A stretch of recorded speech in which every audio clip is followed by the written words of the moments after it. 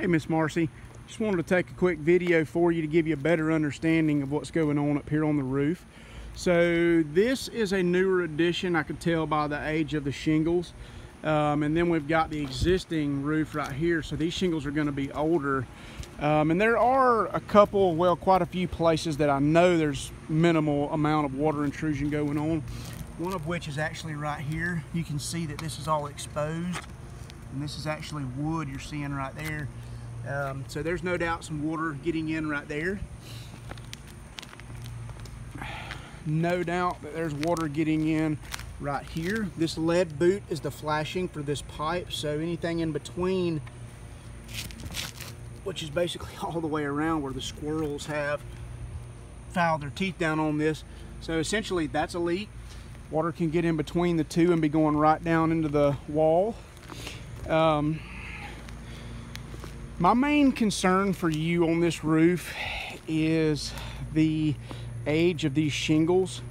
And there are several areas where we can see that literally the tab is just completely gone.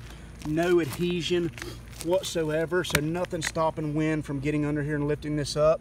And this has been going on so long that you can literally see that the nails have rusted out.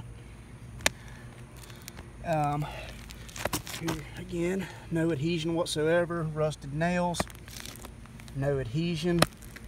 That one's adhered. That one's got a little bit hanging on, but you can see that it's just barely hanging on. And again, there's been moisture underneath these. Um, and I did also see over here, I guess this area had been repaired in the past.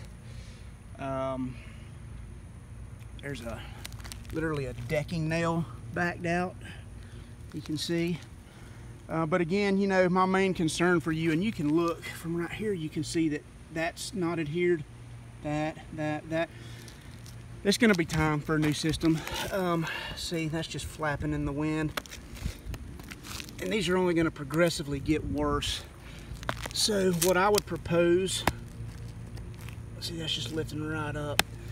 Um, what I would propose would be to go ahead and budget out a new roof as opposed to repairs. Um, and what I would do is I would propose to remove this power vent and put you a more functional ridge vent all the way across all of these ridges to allow as much heat and moisture out of the attic as possible. It's going to keep you cooler in the summertime, but it's also going to help the life of the roof.